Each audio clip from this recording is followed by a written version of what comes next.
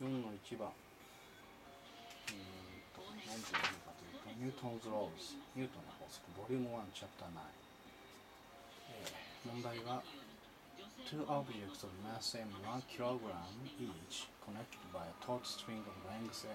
equal 2 meters move in a circular orbit with constant speed v equal 5 meter per second about their common center c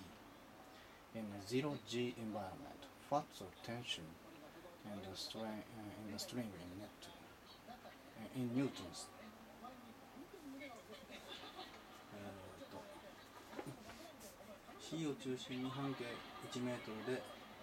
1kg の失点が円運動しているので張力遠心力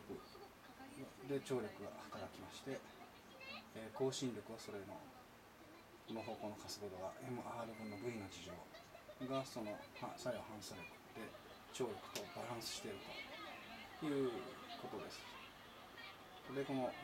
バランスの式からイコール25ニュートン